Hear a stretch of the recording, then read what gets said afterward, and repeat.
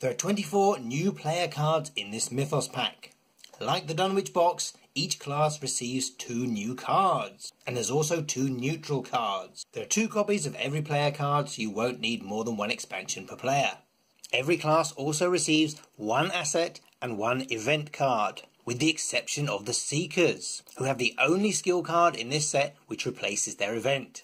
Breaking this set down by cost, we see that it's quite a cheap set. We've got two permanent cards that cost nothing, one skill card that costs nothing, and most of the other cards being 0 and 1.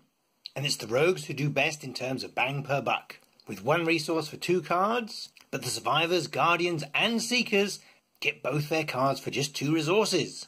As usual, the Mystics get the most expensive cards, but they're both topping out at just three resources. Moving on to the icons, we see something very interesting. The majority of the cards here have a double icon, and that's always welcome, particularly for the Rogues and Mystics, both of whose cards have double icons. And the neutral cards, being permanent, won't have any icons at all. But did you notice there aren't any wild icons in this set? Focusing on specific icon types, Agility does best with six icons spread across four cards. They have the highest number of pairs. Intellect is next with four icons spread across three cards, and Deduction has a matching pair. Combat has three icons spread across three cards, so there's no double icon for them. Willpower has three icons on two cards, one of which is obviously a pair, and it's on a Guardian card, which is tremendous. There are only two fast cards in this set, and it's nice to see the Switchblade getting an upgrade. Speaking of upgrades, we also have an upgraded Shriveling, and both the Mystic cards in this set are spells, so that Amulet of Hyperborea is really starting to earn its keep. But what a shame we haven't seen a single tome.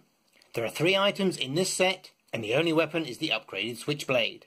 There is a single ally, and it's a new ally for the Seekers, which continues their tradition of having an ally reaction triggerable after it enters play.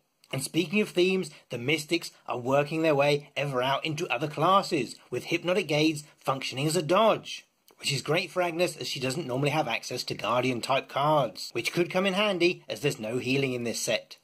Looking at the slots, the hand slot is the most popular, and we've got one arcane and one ally, so we're relatively slot light.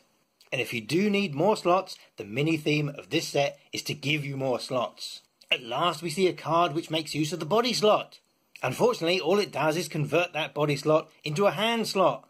But if you're a Jenny Barnes or if you're a prolific shotgun user, Bandolier can really help you out, particularly if you're playing solo and you need stuff like flashlight or a magnifying glass. Speaking of helping you out, we finally see the long-awaited Charisma, which grants you an extra ally slot, and Relic Hunter, which grants you an additional accessory slot. Both of these are permanent cards, so after you buy them with XP, they will start in play, unlike Bandolier, which you have to rely on coming up during play. And of course, you can have two copies of them in your deck and in play at once. Because there's no unique asterisk, every player can have one of these in play, or two copies in play. For investigators like Zoe or like Wendy, which rely on their own dedicated accessories, it's great to have an additional accessory slot. Maybe for something like the police badge, or an Elder Sign amulet, or the Holy Rosary. And Ashcan Pete will love Charisma, as the more allies he has in play, the less chance there is of having to discard Duke. But in this set, there are no exile cards. That wonderful mechanic that popped up in the last expansion that has so much potential is being completely missed out on.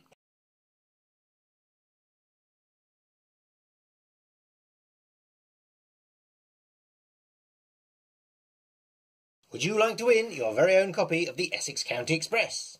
That sounds like a silly question. Chaos Cards are a UK based retailer that ships products all over the world. They've got a copy of the Essex County Express to give away, and they've chosen the Arkham Chronicle as the best place to do it.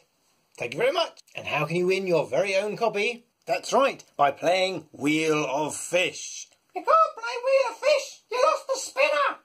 All right, so not by playing a Wheel of Fish. Simply go to the Chaos Cards website, find the Essex County Express page, and check how much it is for them to post it to wherever you live. Put that amount in the comments below, and if you're a subscriber, you could win. Check back in the comments in a week's time, and we'll tell you if you've won. And Chaos Cards will post out a brand new Essex County Express right to your door, no matter where in the world you are.